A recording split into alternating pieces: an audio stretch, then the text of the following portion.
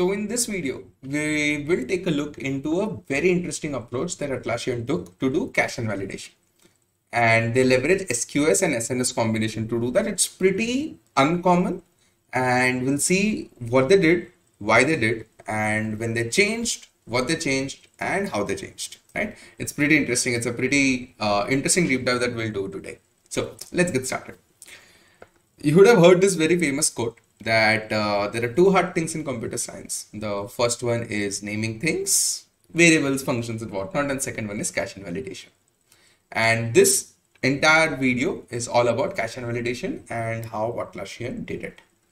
Now consider this that um, a pretty standard way for people to use a cache is they have a source of truth, kind of MySQL, Postgres of the world, right? And they have a cache, your Redis, DiceDB, etc., etc., etc. Now, the whole idea of cache invalidation is whenever the data changes in the source of truth, how do you invalidate the cache? That's the whole thing. So that you don't serve stale data for a longer duration. That's why you need to invalidate the cache. And that is what the entire discussion is going to be. How and why are you trying to or are you trying to invalidate the cache? Now, this entire thing is in the context of a service at Atlassian called tenant context service right? Will take a long time. The diagram looks scary. It's not. It's not. It's pretty simple. I'll explain it step by step. Right? so this thing is a tenant context service which has its own source of truth which is dynamodb. It has some sort of ingestion we don't need to worry about the internal details of it right? It has some sort of ingestion workers which are doing writes into this dynamodb right Consider this TCS API, the tenant context service API, that whoever wants to know about the tenant metadata talks to this API, API server goes to the database, reads the data, serves it. Right? So whoever wants to consume the TCS data, this is the flow. Right? Okay. Now, the core idea or the core pain point of cache invalidation happens when your ingestion workers are doing writes onto the DynamoDB. The source of truth has changed and this change needs to be percolated to the clients of TCS service. Now, what are this client? Now, this entire blue block, blue box that you see is one client of TCS. There will be multiple such clients. Now, each client is a consumer of TCS. So the client would have its own set of customers, this one, and some application who is using TCS data and this TCS data is typically now consider this as a one pod or one server in which you have a sidecar and your main application. Sidecar is the one that is inter interacting with the TCS API to get the data. Right? Your server directly talks to sidecar to access the data quickly. So this way your app, the customer, the client of TCS service, this one, the HTTP API, the web server of it, can focus on serving its request that it's wanting to.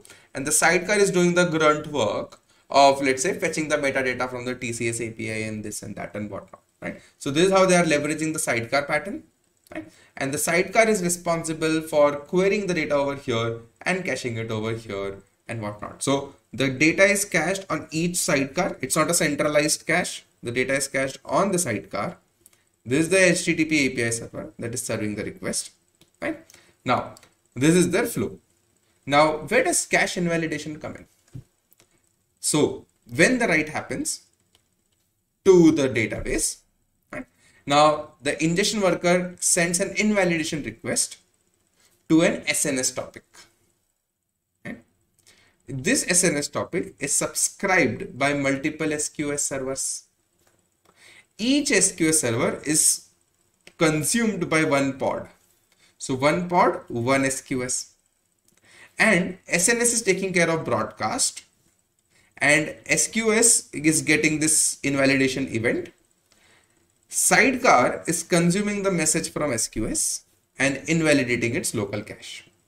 I'll repeat this entire flow once again. When ingestion worker updates the database, updates the source of truth, it sends an invalidation message to SNS SNS fans out to all the SQS that have subscribed to it. One SQS is for one pod. The sidecar of the pod consumes a message from SQS. It's an invalidation message and invalidates the local copy of data. This way, when the subsequent request comes in for the key, which is, let's say it's invalid, which means it's not there in the cache or whatever has happened, your sidecar will go to TCS API, it will go to the server, get the data, cache it again, and continue its processing. This is the flow. Very obvious, extremely obvious. You can start seeing the problem with this, that this approach is not scalable. So first thing first, you need one SNS topic per client of TCS. So the more the number of clients of TCS, if there are n clients, each client would require one SNS topic, right? That's one. Second, you require one SQS queue per compute node, per pod, per EC2 server. That in itself sounds very weird, right? And why would you need to have one SQS for each EC2 server? right that's that's the fun part right people start building it in first place and then they realize that at scale things don't work which is perfectly fine and that's what we all learn right from this mistake quote unquote mistakes right okay so one sqs per compute node right now imagine when an invalidation happens right this invalidation message is also an event so some payload that you need to invalidate this thing da, da, da. now this message sent once to this sns what if for this same key there would be multiple SNS topics that are interested in that. So imagine there are m SNS topic to which the invalidation message is sent. And each SNS topic has let's say n on an average on an average SQS subscribe to it right? So msns each one is sending n sqs messages.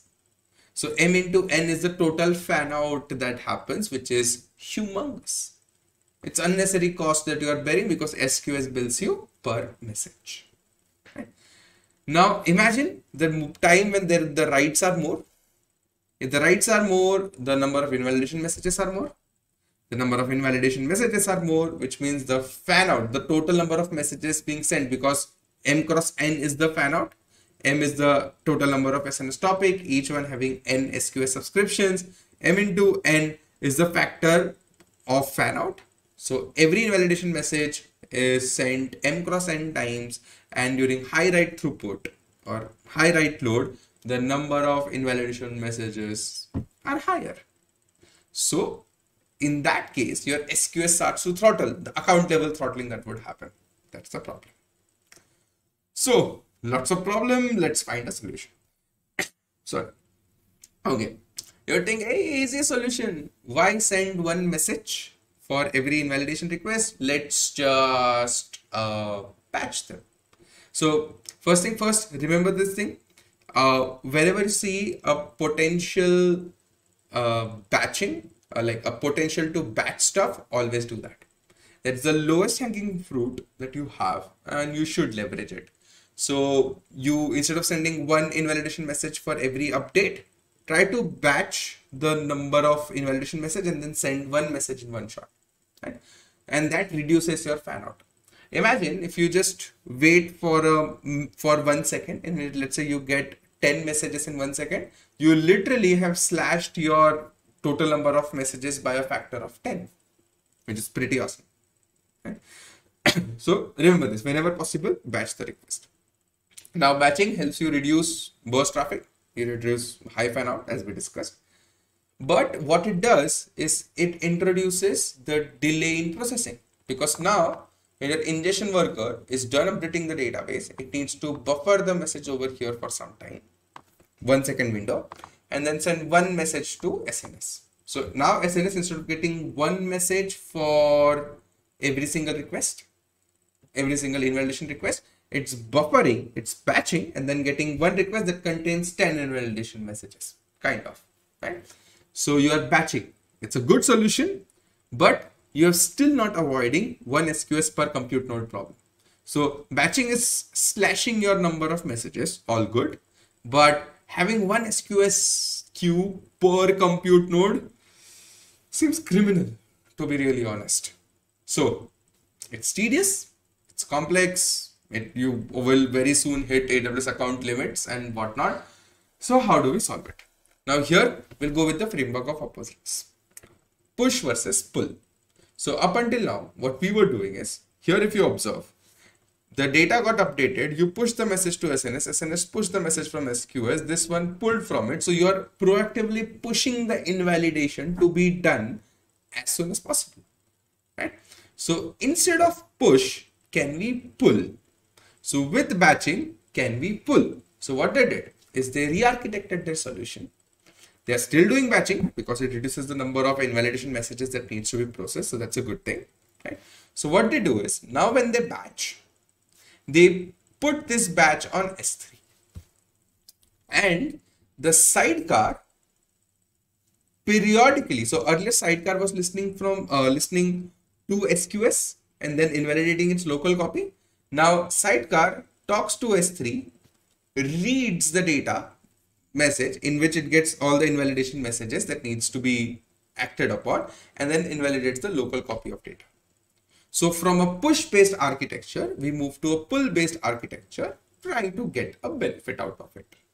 And this is a revamp that they did. Again, it sounds pretty uh, obscure to think about it. Like why on earth would they do this in the first shot? But that's how they have, that's what their architecture was. And then they solved it. Now, few key takeaways that we understand.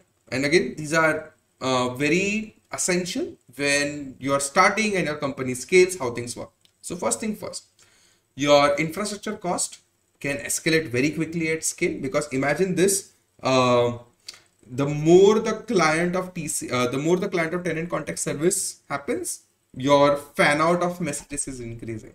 Right? So although it looks like a pretty simple system to implement, but your infra cost can scale very quickly if you do not have things in control. That's why. Second, this is the most most critical one. Your knife solution, which you employed or that you deployed on your day zero, works fine, all good. But keep an eye on scalability. Keep an eye that hey, what would happen when we scale? We typically think it's if it's working, it's working. I won't take a look at it, right? But is it really the case? is it really the case the amount of cost that you are bearing is it worth it the amount of time you're taking in processing is it worth it so keep in mind to visit your previously deployed service running for a very long time to see if there are any potential improvements that you can do and things are under the managed SLA with respect to cost, performance, durability, all the buzzwords, whatever you would want to think. And more importantly, be ready to re-architect your solution keep an eye on the cost, keep an eye on the convenience, keep an eye on the maintainability, and see if you'd want to re-architect. It does not mean you go ahead and re-architect every few months. That's a waste of time. But if there is a need that your cost or convenience or maintainability is going for a toss, you go ahead and be ready to re-architect your solution. So here we saw how we or how Atlassian converted their push-based stuff into pull-based stuff. That's a complete change of access pattern, right? But was it worth it? Yes, because now the infrastructure is pretty much scalable. You don't need one SQS per compute node and whatnot. That makes your life super easy. And yes, this is all what I wanted to cover today.